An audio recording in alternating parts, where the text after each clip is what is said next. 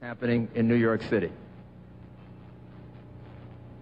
In an age even of uh, computer communication and international communication and the ability to communicate with people by fax and in all kinds of different ways, it still is important to be somewhere, to be in a place, to see people, to deal with them, and to be face to face with them.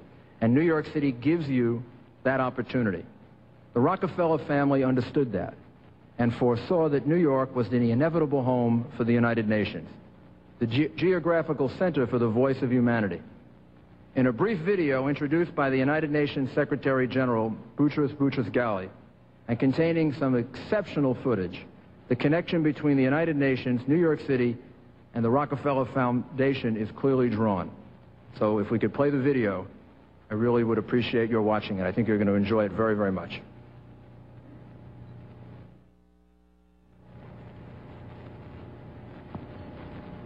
on the eve of the 50th anniversary of the United Nations, it is important to recognize more than just an event.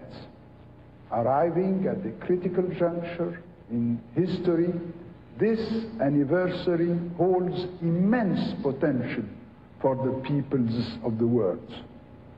To appreciate, preserve, and strengthen the achievements of the United Nations to examine new challenges which require creative action and most importantly to chart a course for the future.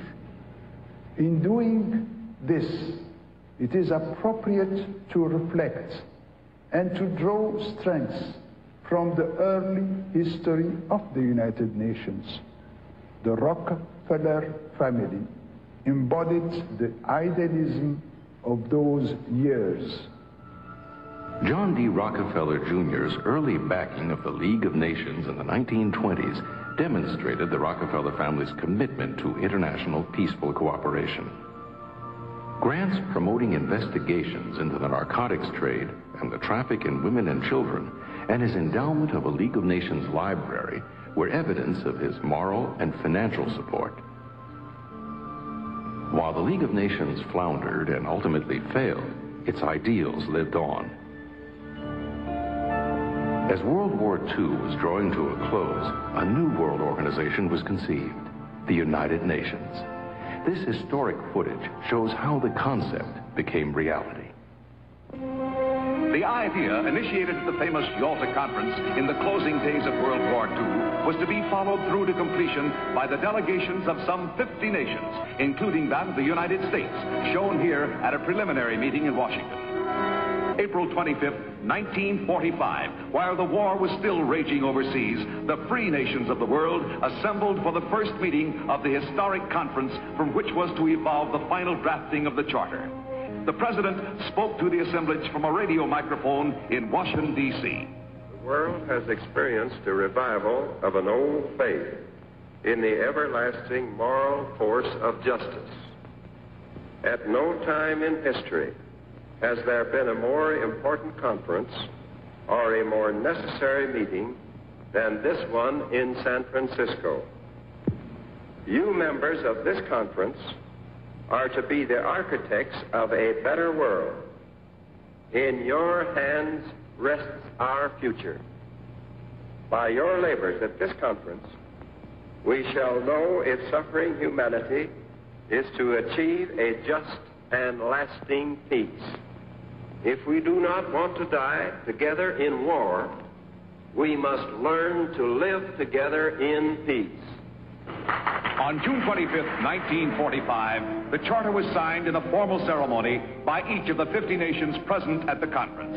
Out of the chaos of World War II had come a global brotherhood that carried within its legislative structure the seeds of world peace for the generations to come. Many tasks were set before the young United Nations, including the resettlement of World War II refugees the drive to secure fundamental human rights,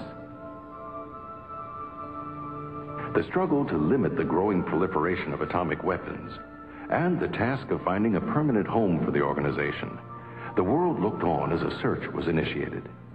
Arriving in New York to choose United Nations headquarters, delegates from seven nations are welcomed by Grover Whalen. They must choose a site within the New York or Boston areas. The committee calls on President Truman at the White House before proceeding to inspect locations. The eastern United States will soon hold the new capital of the world. Nelson Rockefeller, a former member of the U.S. delegation to San Francisco, was appointed by New York City Mayor O'Dwyer to interest the UN in building on the 1939 World's Fairgrounds in Flushing Meadow. When the UN rejected this proposal, the Rockefeller family considered offering part of their own estate, Pocantico, and adjoining properties for the headquarters site. No decision had been made when the UN convened in the fall of 1946 the Rockefeller family was more concerned than ever with bringing the UN to New York City. News accounts from the period convey the atmosphere. As the weary delegates of 54 nations prepare to end their meeting, the world takes stock of recent weeks, highlighted by the beginnings of cooperation. Hopeful signs are the unanimously passed resolution on armaments reduction and atomic controls. And there was big news in the last days as headlines told another story. The gift of a site by John D. Rockefeller Jr. for a permanent world capital in New York. Quickly accepted, the strip along Manhattan's East River is valued at $8.5 million. An ideal site for skyscraper headquarters, the six block area extends from 42nd to 48th Street. The Rockefeller family formally presented its gift to the UN in March of 1947. The future of this country and the lives of our children and our children's children are interwoven with the success of the United Nations. In it lies the hope of the people of the world. My father considers it a privilege to have had a part in the development of its permanent home. I'm glad to hand you, Mr. Lie, my father's check. Thank you, Mr. Rockefeller. Mr. Rockefeller, Mayor Dwyer, the United Nations extends its sincere thanks to you and to your father for this magnificent uh, gift. We intend to go ahead and create on the East River side a dignified and appropriate headquarters for the United Nations, which will stand for generations to come as a great monument to peace and security.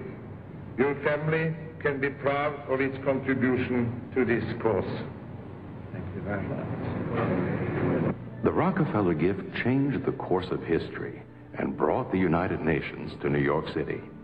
It is a gift which gave practical and moral support to the young United Nations thus enabling it to succeed where the League of Nations had failed. It is a gift which furthered the United Nations mission to help save succeeding generations from the scourge of war. And the Rockefeller family's commitments to the United Nations did not end with this exceptional gift. It continues to the present day and it is personified by David Rockefeller whom we honor for his dedication to democratic principle, for his dedication to development, and for his dedication to international peace.